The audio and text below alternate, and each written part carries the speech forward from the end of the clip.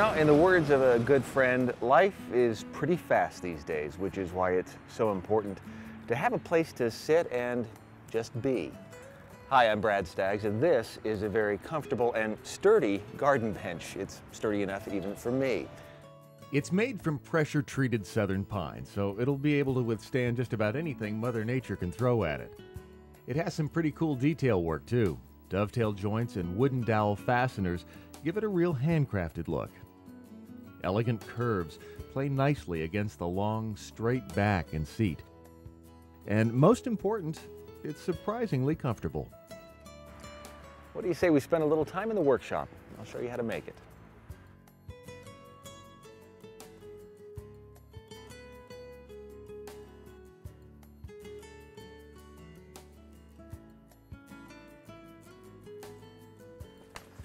One of the things I really like about this project is the fact that you can do it over a weekend. Uh, with just a couple of tricks, we can make even the curves in this bench simple to do. Take a look.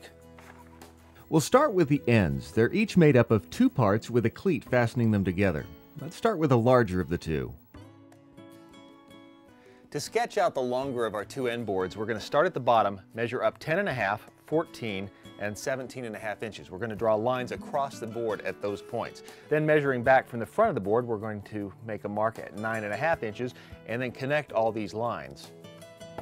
Our next step is to set a series of finish nails in the board. These will mark the rough location of the curve along the back.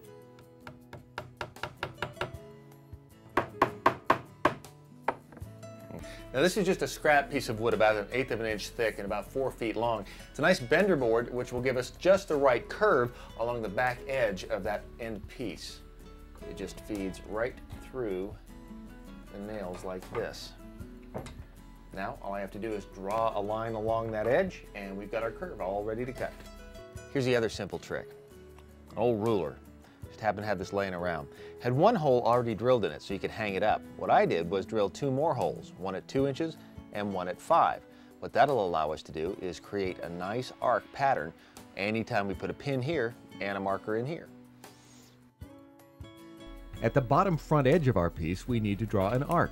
For that, we'll use the hole at the 5 inch mark on the ruler. The last curve we need to draw is along the front edge. To do this, we need one more finish nail on the top line closest to the front of the piece. Place the bender board against the nail and hold it in place at the top, aligning it with the center mark of the circle. Make sure you have a slight bend in the board by applying pressure against the nail, then draw a line along the outside edge. Once the pattern is completely drawn, secure the piece in a vise and use a jigsaw to cut it out. Hang on to this piece because we can use this as a pattern for the rest of our pieces.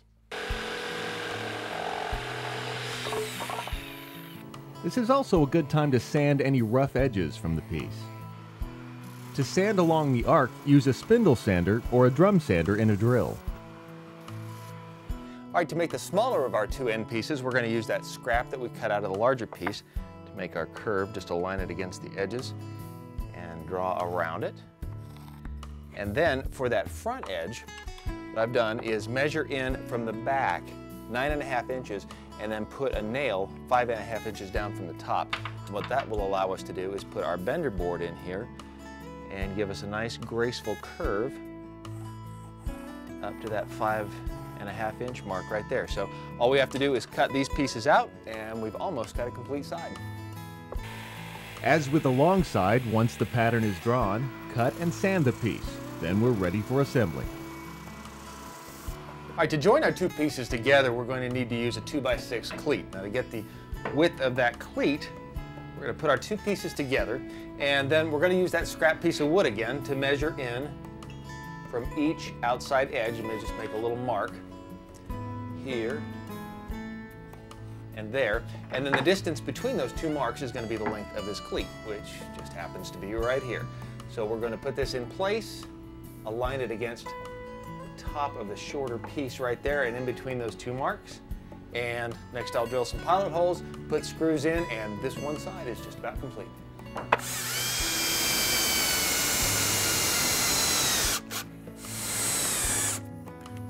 Once the end is complete, use a roundover bit to soften the semicircle formed at the bottom. This will give the bench a real finished look. Now that our two ends are complete, they're tied together with a front and a rear apron. Now these aprons are just simple uh, two by sixes, they're 60 inches long, and they're tied into the ends with a dovetail joint here and a couple of wooden dowels. Very simple to do. I'm going to show you how to make that, uh, that dovetail joint and also a great tool that's going to make this whole job a whole lot easier.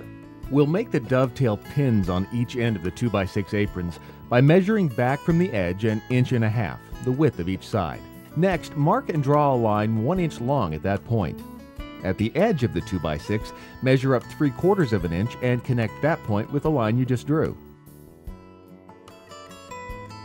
We'll use an oscillating saw to cut the dovetails. The blade basically vibrates back and forth to make the cut and saves a lot of time.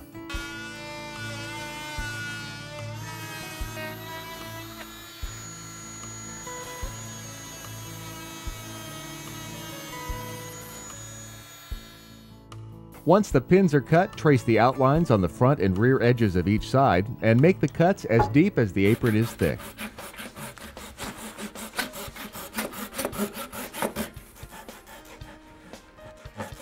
Glue and clamp the aprons in place. Once dry, drill 3 8 inch holes through each joint and into the sides. Then drive wooden dowels to secure the joints. Cut off any excess with a saw. All right, cut the last of our dowels off here. Your piece should start to look something like this. Now, in addition to cutting off those dowels, I've also installed a center brace here between the two aprons. We've attached both aprons to the ends. Uh, it, it just adds a little more stability.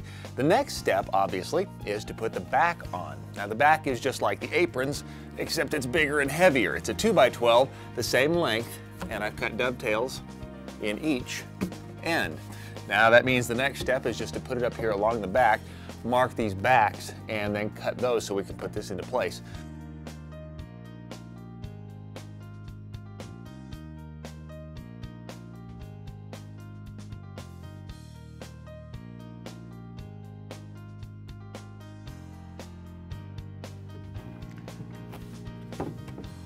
All right, we just got a couple of big pieces left to put in the seat. It uh, comes in two parts. This rear is the nine and a half inch length that fits between the ends. And then the front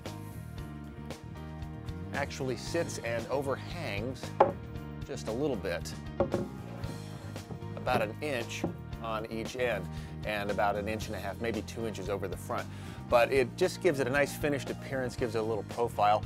I think that uh, just a couple more things, uh, maybe a routed edge here and along the edges just to knock off some of that sharpness.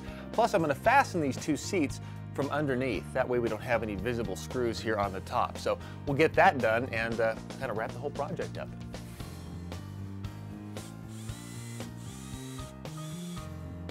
To really complete the look and feel of your garden bench, use the roundover bit to soften the leading edges of the seat. Once it's complete, give the entire bench a good sanding to get rid of any rough spots or sharp edges.